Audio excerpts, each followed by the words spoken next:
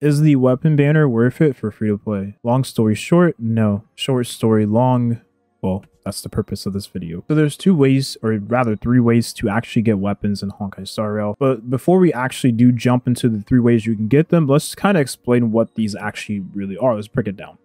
So the weapons or light cones in this game, they call it, is literally artifacts from Epic 7. So if you played E7, another mobile turn-based gacha game, you are familiar with the artifacts in that game. What you do is you get an artifact, which is kind of like a slot weapon for each character, and then it gives stats. Added stats you can see here, we have HP, attack, and defense. These are all flat stats. And then you get a passive of the weapon to go along with the extra stats. And a lot of the time is the artifact in Epic 7 or the weapon in this game will give you a certain kind of damage bonus or it might give you just straight up stats altogether. Like here you see Seele's light cone gives her 12% crit rate and then she also gets skill damage increase and basic attack damage increase whenever she has more speed over 100. And it is added onto the actual crit damage of her so it's just added effects on top of the actual stats you get for equipping the weapon. As you should know, while each weapon gives kind of different stats comparative to other weapons. So like a weapon for a healer, for instance, if you look at Natasha's weapon, it gives her more HP than anything else, well, because she scales with HP. While Seele's weapon gives her more attack than anything because, well, she scales well with attack. Now, granted, it might seem like that the actual HP is higher than attack, but when you level up the light cone or the weapon for Seele, then you will get way more attack than anything else because the character scales much better with attack. And it is also something to note is that 5-star weapons have more stats than 4-star weapons. So you can see here that the actual base stats are lower than Seele's 5-star weapon. Now you can see on the screen here, I actually do have a picture of Amelia's artifact from Epic 7, the game I mentioned in the beginning of the video. In this game, they have weapons for each character you can slot onto the character, and you can see here you get some stats with the weapon, and then you also get a passive to go along with the stats. So you can see here, there is the passive for the Amelia's artifact, which is a character in that game, she's a limited, and you get effect resistance, which is a stat in Honkai Star Rail as well. And what this does is it increases the chance or the resistance you have against debuffs from the enemy. And then you also get a healing passive that goes along whenever you get hit when you have more than you have less than 50% HP after being hit. And each weapon in or artifact rather in E7 has different bonus effects alongside different stats. So if we take a look at Rem's artifact from Epic 7, you can see here that there is different stats. So this weapon has more attack than HP, versus the weapon that or artifact Amelia had, which had more HP than attack. And that's because Rem is a DPS unit, while Amelia is a healing unit. And then you can see here that there actually is an increased crit chance whenever you equip this on the character. And you also get a combat readiness, which in, you know, in Honkai Star Rail, that is an action bar or action forward.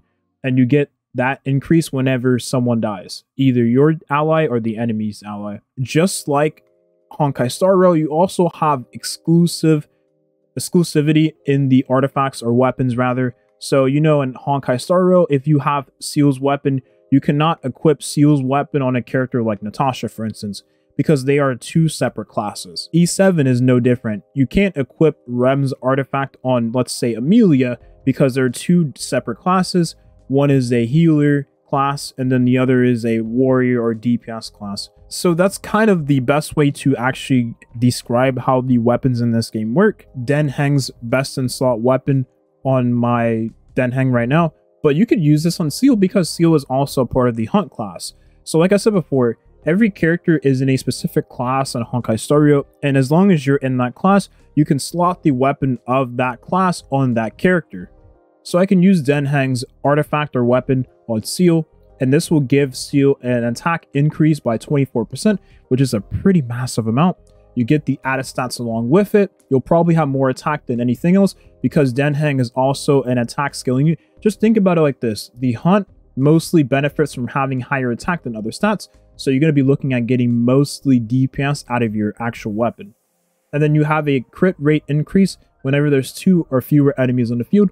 This is really crucial for single target DPS which is what all the characters in the Hunt class are all about. Single target DPS. So this makes a very nice free to play option for Seele because you get the crit rate and you get the attack increase whenever you pretty much use her in the, you know, you probably should use her against bosses, right? Let's just say that. So you'll always have the crit rate increase. You also have the attack increase and then the bonus stats to go along with it. And then we have a three star weapon, which also gives crit rate. So this will be a super duper free to play option. Let's just say you're unlucky, you don't get Dan Heng's best in slot weapon and you want to use that a Seele, but you can't.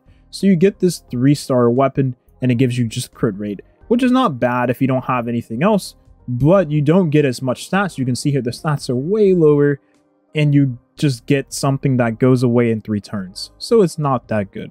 Now there's three ways to actually obtain weapons. First of all is the actual light cone event banner. So you go on this one, you get the limited light cone, which is a 75% chance to get this.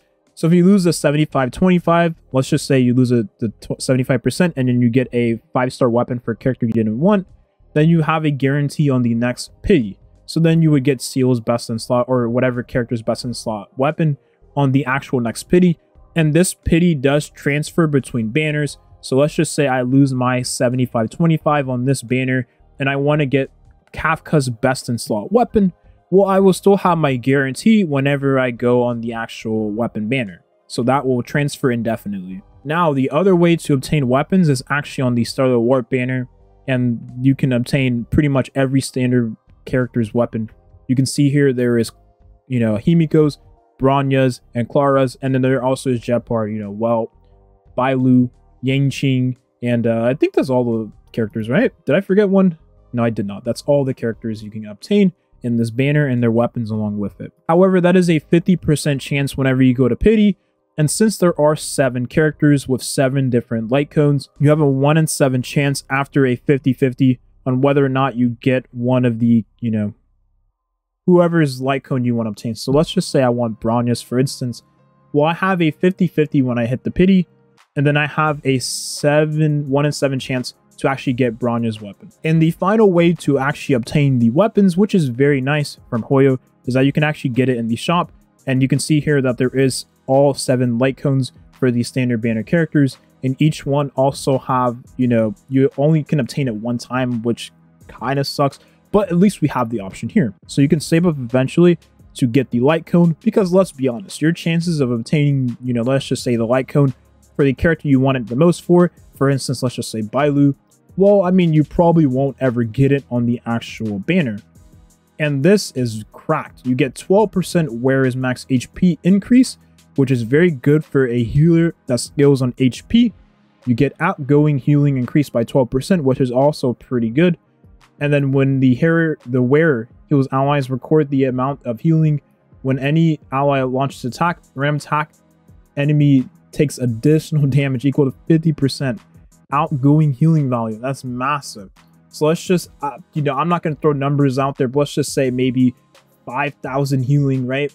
And then you get like a 2,500 additional damage increase, which is pretty nasty. It is one time per turn, but it's really, really, really good. So to answer the question I asked in the beginning of the video, is the weapon banner good for free to play? So we have to take everything into consideration. The ways to actually obtain the weapons in the game, the fact that there is an actual guarantee after you lose your 75-25, a actual 75% chance to obtain the weapon on the actual pity. The pity being a, you know, 65 and then an 80 guarantee, 65 for soft pity. So you probably get the weapon around 70 pulls into the banner. The fact that you can obtain certain weapons in the actual, or light cones rather, in the actual shop and that they're on the standard banner. So if you lose your 25 or your 75% chance and you get the 25, and you end up getting a weapon from the standard banner, then you're probably going to be disappointed. And the honest truth of the matter is that we don't get too much currency in Honkai Star Rail overall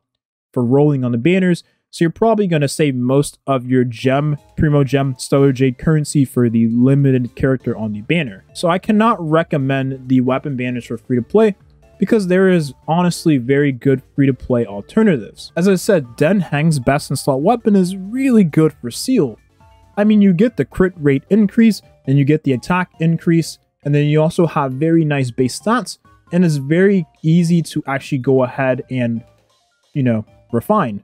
You can get this from world boss drops, which is pretty good, or weekly boss rather if you play Genshin Impact. So you'll probably be summoning on the limited character banners and getting your 5-star characters instead of ever going on the weapon banners, which is a-okay, because I think that's what every free-to-play player should do, unless you're feeling absolute lucky, or maybe your favorite character is Kafka and you just need to have her weapon. That I could understand. That's going to do the video here. I hope you all got something out of this. If you have any questions, of course, let me know in the comments section down below. I don't know why this video was so fun to make, but it just was. Anyways, that's it. Have a nice rest of your weekend. Peace.